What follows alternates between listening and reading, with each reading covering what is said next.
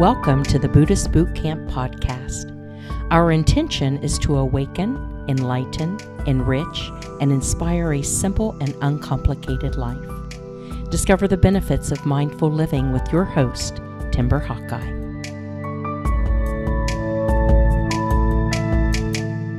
My parents took me to an aquarium when I was really young. At least that's what they tell me. I don't recall the trip, so how can I know for sure that it ever took place? If my parents have lied about other things in the past, and they have, then there is no way for me to know whether the trip to the aquarium was real or if they made it up. Despite this uncertainty, my peace of mind comes from letting go of the need to know. It's not that I don't care, carelessness is harsh. I have simply accepted that among other things in life, this will forever remain a mystery, and I'm perfectly okay with that. Don't believe everything you think is probably the best advice I've ever been given. Our thoughts are rarely ever truly our own. They are shaped by the people around us or by current events and media exposure. Even when we think of something ourselves, or we think we do, it's important to remember that the mind is strangely capable of believing just about anything in order to avoid internal conflict and dissonance.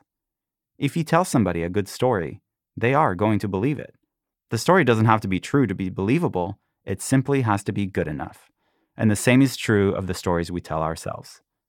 If we're to take everything that other people tell us with a grain of salt, including the books we read or the news we hear, and we can't even trust our own thoughts, then what can we believe? Our feelings? Definitely not. Feelings are valid, but they aren't facts. For one thing, they change at the drop of a dime, and they can be flat out wrong. All too often, I have felt like someone was mad at me, for example, and then it turned out that they weren't. I have felt overweight when I really wasn't, and frequently felt like I couldn't do something right up until the moment it was done. So if thoughts are to be taken with a grain of salt, feelings ought to be served with a spoonful. Whenever we feel inadequate, therefore, it's best to catch ourselves in our own lie and set the record straight. We're actually capable, strong, beautiful, and incredibly blessed. All the other negative self talk is commentary by a troll in our own minds with nothing better to do than bully us.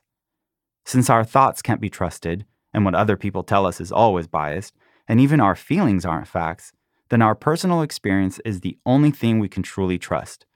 There is an ancient Chinese proverb that says, I hear and I forget, I see and I remember, but when I do, I understand.